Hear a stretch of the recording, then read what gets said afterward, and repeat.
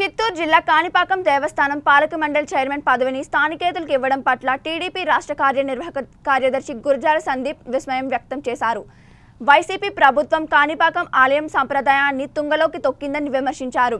ముఖ్యమంత్రి జగన్మోహన్ రెడ్డి అనాలోచిత నిర్ణయాల కారణంగా కాణిపాకం ఆలయ సంప్రదాయానికి చిల్లు పడినట్లయిందని ఎద్దేవా చేశారు. అందరికీ నమస్కారం.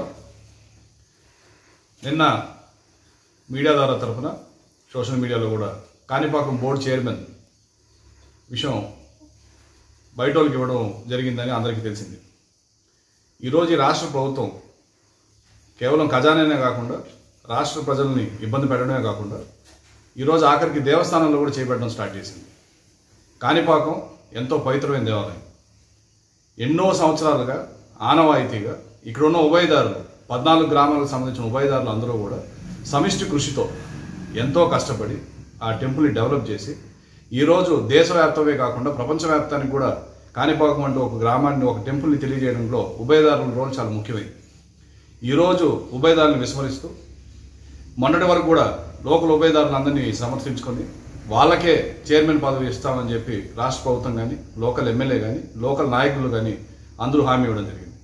నిన్న అనూహ్యంగా ఒక కొత్త పేరు తీసుకొచ్చి గుడిలో కూడా రాజకీయాలు చేయడం స్టార్ట్ చేసినారు.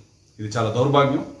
ఇంతటి దౌర్భాగ్యమైన పాలన ఇంతవరకు ఏ ఒక్క రాష్ట్రంలో కూడా జరిగి ఉండదు. గుడి విషయంలో లోకల్ ఉభయదారులకి కాకుండా బయట వాళ్ళకి ఈ చైర్మన్ పదవి ఇవ్వడాన్ని తెలుగుదేశం పార్టీ తరఫున రాష్ట్ర కార్యదర్శిగా ఒక ఉభయదారుడిగా నేను తీవ్రంగా దీన్ని ఖండిస్తున్నాను.